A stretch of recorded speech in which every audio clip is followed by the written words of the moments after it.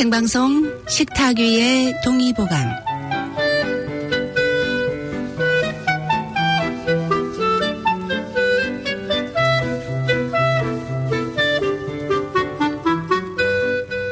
안녕하세요. KCR 청취자 여러분. 한 주 동안 편안하셨습니까? 식탁 위의 동의보감의 한의사 임명숙입니다. 하루 종일 속이 더부룩하고 별로 먹은 것도 없는데 소화가 잘 안 되는 것 같고 가스가 찬다. 그리고 명치 끝이 항상 아프고 쓰리고 신물이 난다. 그러다 약 먹을 때는 그때 잠시는 좋아졌다가 다시 나빠지길 반복하고 병원에 가서 내시경을 해도 별다른 이상이 없다고 하는데 아유 위도 깨끗하다고 하는데 왜 내 속은 항상 불편하기만 하지 하시는 분들 안 계십니까? 이 말은 증상은 있는데 막상 검사를 해보면 이상은 없는 경우입니다. 어디 가면 신경성이다, 스트레스성이다 라고 말하는데요. 딱히 대책이 없으니까 오히려 그 말에 더 스트레스를 받는다는 분들도 계십니다. 만성 위염이다.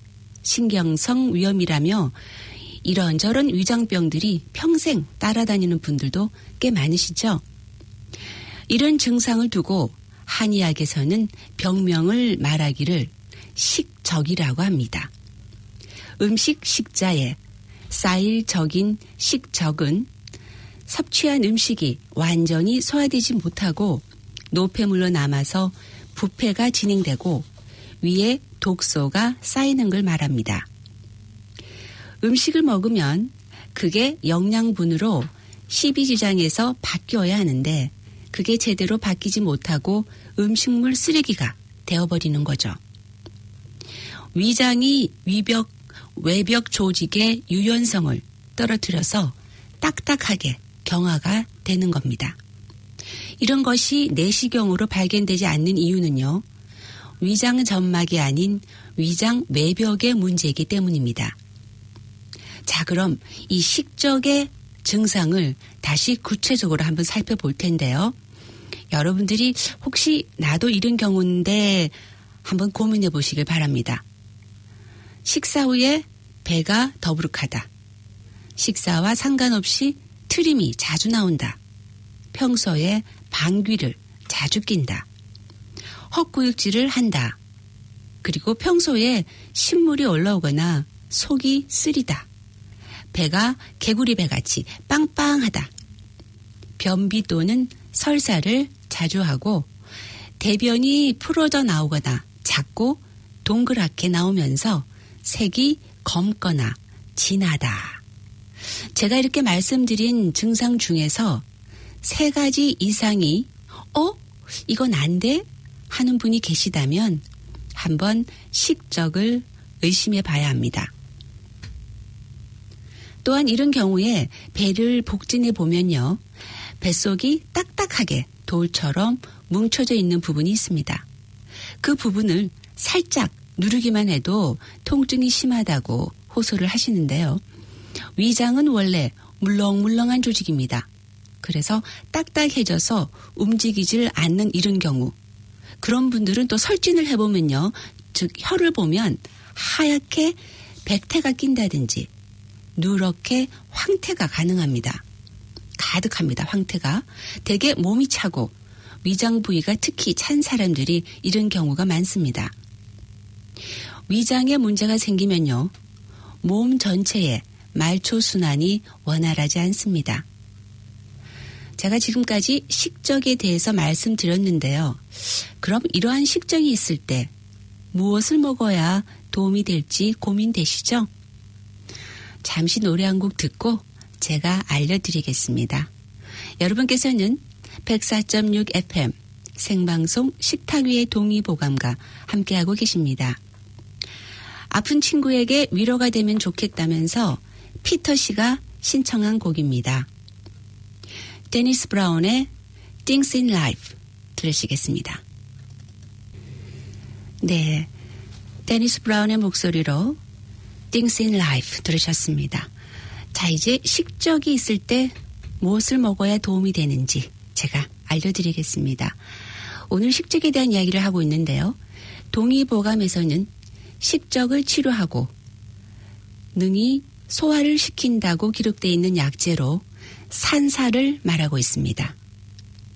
이 산사는 아가위 나무의 열매를 말린 건데요. 맛은 새콤하고 단맛이 납니다. 이 산사로 식적, 위장병을 치료했는데 그것은 산사에는 지방을 분해하고 소화에게 분비를 촉진시키는 리파이제가 풍부하게 함유하고 있습니다. 유기산이 풍부해서 신맛을 가지고 있고 위액과 타액 분비를 촉진시켜주죠. 그리고 따뜻한 성질이 있어서 위장을 튼튼하게 해주는 것이 바로 이 산사입니다. 그래서 소화 기능을 원활하게 해주는데도 아주 큰 도움이 되죠. 특히 육식을 많이 먹어서 소화에 문제가 생겼을 때 이 효능을 더욱더 발휘한다고 동의보감에 기록하고 있습니다. 그럼 이 산사를 어떻게 먹느냐고요? 네, 우리가 늘 먹는 밥상에 올리면 됩니다.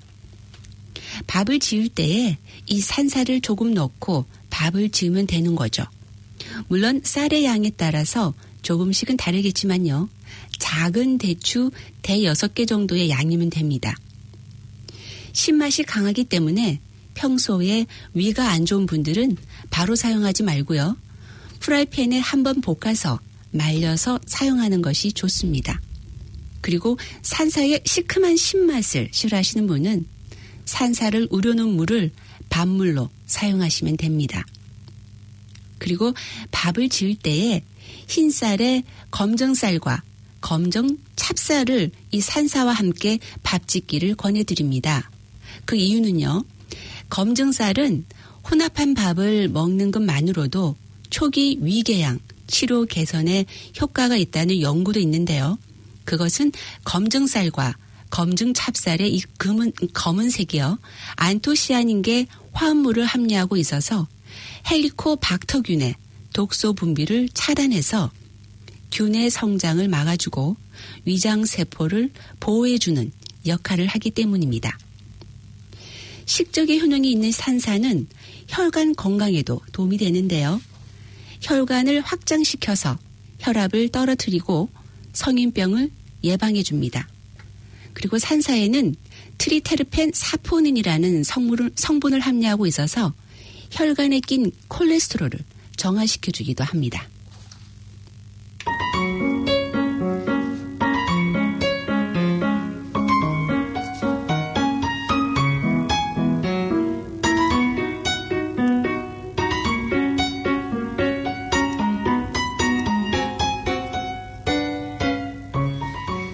생방송 식탁 위의 동의보감.